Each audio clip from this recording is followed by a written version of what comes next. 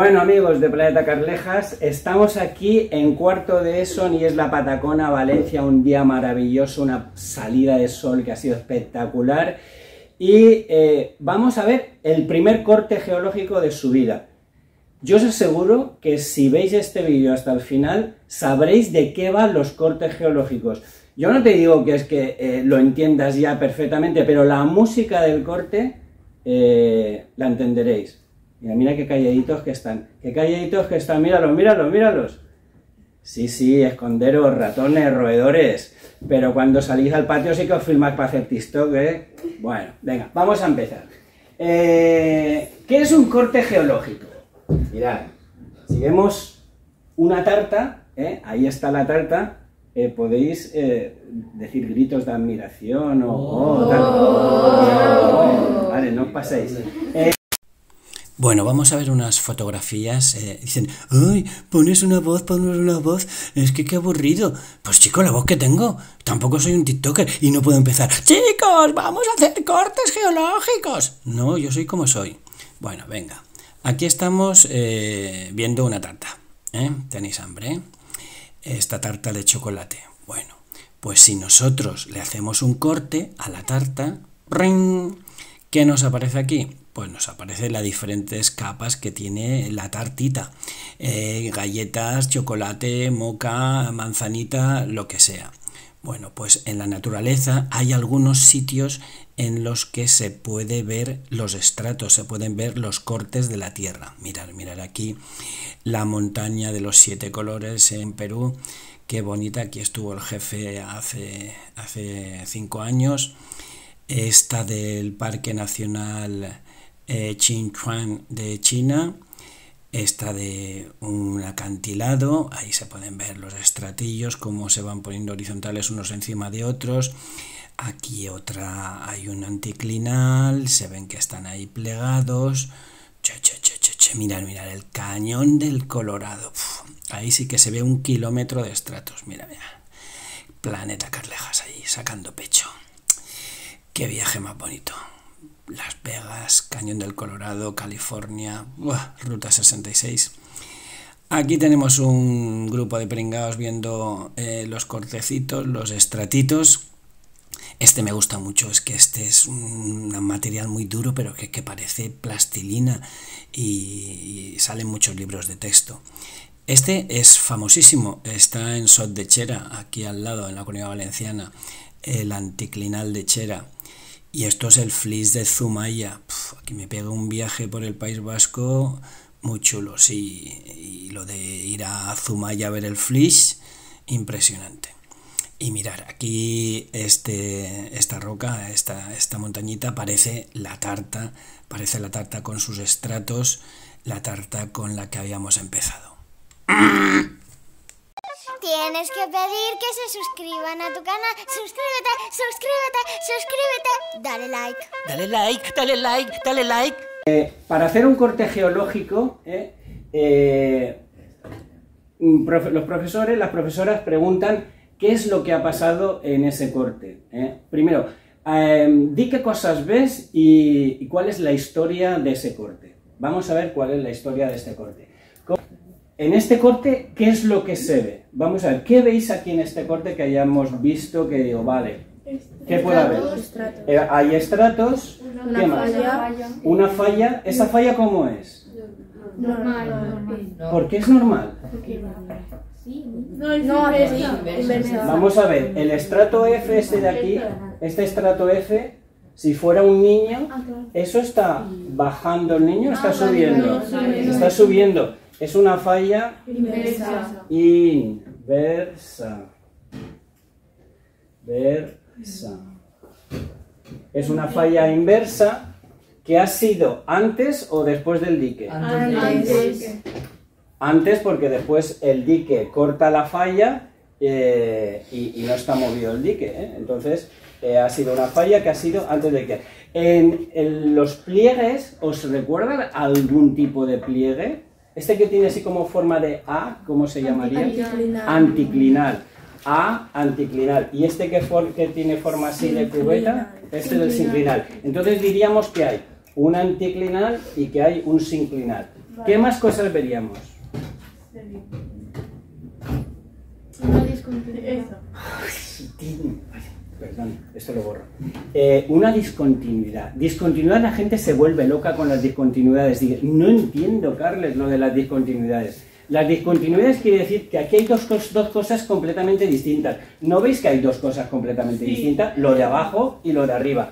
Esto ha pasado en una época, lo de abajo ha pasado en una época y lo de arriba ha pasado en otra época. A nivel de cuarto hay que identificar las discontinuidades, pero a nivel de primero bachillerato y segundo bachillerato habría que decir que es una discontinuidad erosiva y angular. ¿Por qué? Porque esto está erosionado y angular porque los estratos están en un ángulo diferente, están en ángulo.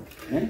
Entonces, esta es una discontinuidad erosiva y angular que en segundo bachillerato hacemos la risa que es la DEA, la agencia Drugs Enforcement de Drugs Enforcement Ag- Agency, toma, qué, qué pronunciation, ¿eh? de Estados Unidos, la agencia antidroga, la DEA. Encima están los estratos C y B y se ve algo más en este, en este corte. ¿Algo, algo que veáis que os llame la atención. Eh, la- el- el esta- el Mirad cómo es esto. ¿Esto, esto qué representa? Es como un valle y aquí podría haber como un río que estuvo ahí el río o que, eh, o que circula o que ya no está. Entonces habría habido una erosión con un pequeño valle fluvial. Bien. Ya que hemos identificado, hemos identificado todas la- las partes del corte, vamos a ver ahora eh, la historia de la región. La historia de la región. ¿Cómo empezaríamos? Mirar, todas las historias de la región empiezan igual.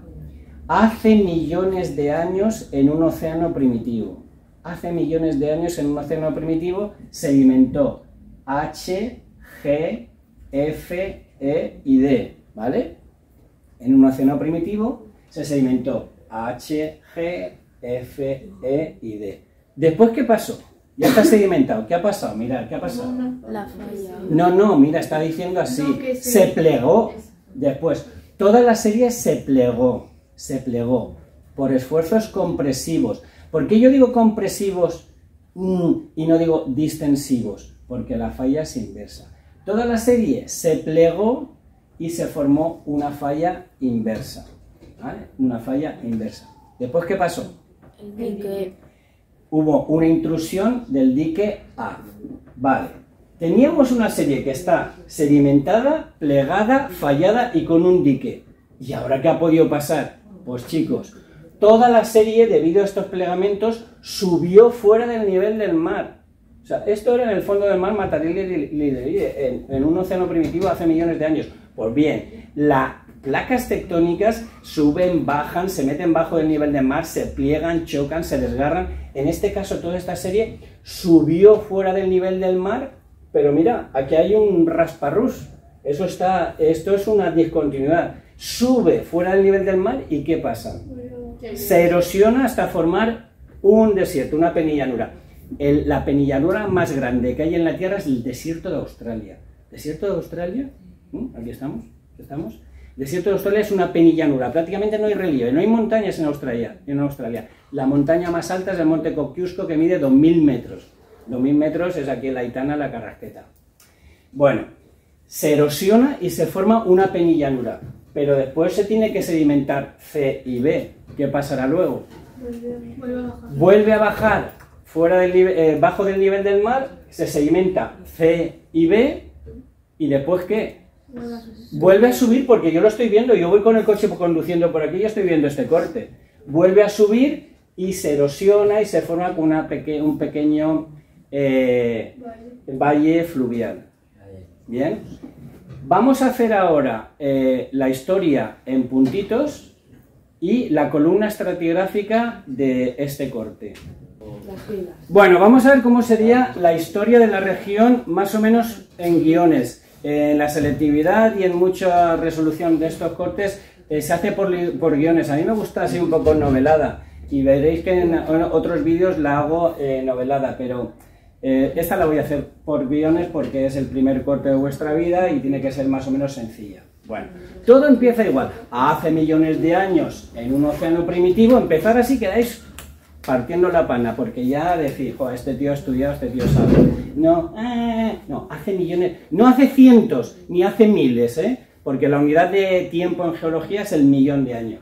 Hace millones de años, en un océano primitivo, sedimentación de H, G, F, E y D, ¿vale? Sedimentación de H, G, F, E y D. Después se produce un plegamiento, eso está plegado, no está horizontal. En ese plegamiento, al plegarse, se forma una falla inversa. ¿Por qué es una falla inversa? Chico, porque si esto es un tobogán, este estrato verde no cae por gravedad normal. No es normal lo que está haciendo, lo que está haciendo es que está subiendo hacia arriba. Eh, pero ¿no será que este verde cae hacia abajo? Pero vamos a ver, los niños van por debajo de un tobogán, como si estuvieran poseídos por el diablo. Los niños van por encima del tobogán. El estrato niño verde, ese estrato niño no está cayendo, está subiendo. Es una falla inversa. Se produce la falla inversa y después el dique. El dique después de la falla porque el dique corta la falla. Bien, ¿ahí qué pasa? Ha pasado algo porque de repente todo ha desaparecido. Mira, aquí hace falta, eh, eh, falta azul, el estrato D casi no se ve, entonces ha habido una erosión. Para que se erosione, si estábamos en el fondo del mar, toda la serie, ¿eh? plegamiento, falla inversa, intrusión de dique A, toda la, serie se tiene que elevar fuera del, nive- del nivel del mar. Se erosiona y se forma una llanura, como la de Australia, el desierto eh, australiano. Este tipo de discontinuidad, en cuarto no hace falta que las clasifiquemos, pero más adelante sí, se- sería una DEA, discontinuidad erosiva y angular.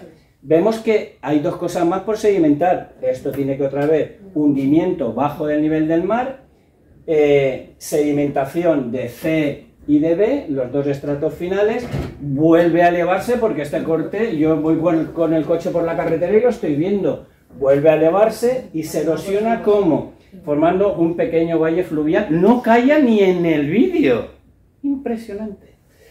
Eh, se forma un pequeño valle fluvial y ya está. ¿Qué faltaría, hijos míos? Faltaría aquí la columna estratigráfica si la pidieran.